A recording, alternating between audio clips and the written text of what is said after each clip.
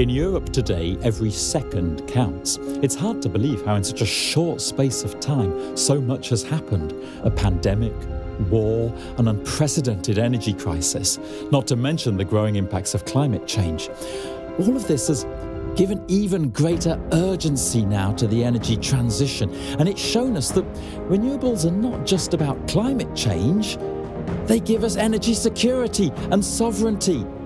It's renewables that are going to bring down our energy bills. People now see we need more renewables ASAP which means we've got to sort out now the things that are holding us back from building all these new wind farms that governments now want. So it's time to simplify the permitting.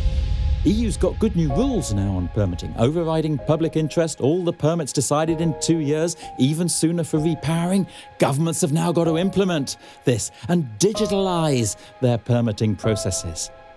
It's time to ramp up our supply chain, to get it back to growth. Our industrial capacity and infrastructure has got to match government's new targets. It's time to make investments happen. To have stable rules in electricity markets, clear visibility on future auctions with big volumes and the right design. We've got to make Europe an attractive place again to invest in renewables. It's time to focus on the grid. There's no point building new wind farms if they're not connected to consumers. And it's time to electrify our transport, heating, and industrial processes. Now, all of this is going to require huge effort, of course, and collaboration between industry, government, NGOs, grid operators, energy consumers, and communities. It's all hands on deck.